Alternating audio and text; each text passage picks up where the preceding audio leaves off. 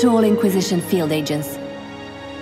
Multiple reports warn of high dragons moving into island ruins on the Ferelden coast. You know the damage that just one of these creatures can do. We must strike before their rampage destroys most of the south. I have authorized three new agents to join in this fight.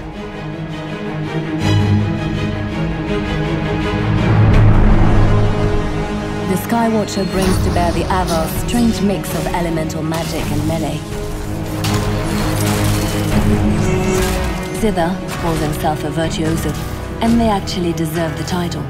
The man controls a broad range of magic through his lute, which can alter the flow of battle for all involved.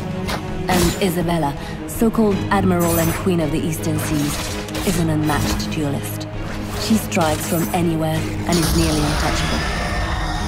Prepare carefully for what you will face. Look at me, still sexy. Well, dead sexy, I guess.